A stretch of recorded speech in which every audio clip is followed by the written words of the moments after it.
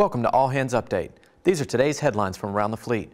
Good news, Navy. The 2016 military pay charts have been released. The 2016 National Defense Authorization Act gives sailors a 1.3% pay increase. Visit ah.mil to view the pay charts and pay calculator.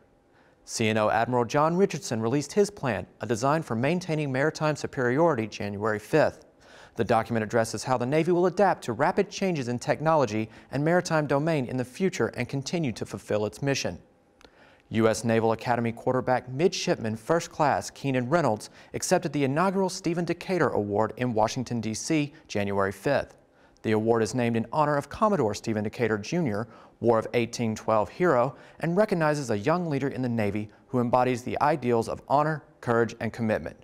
Read more about what's happening around your Navy at Navy.mil.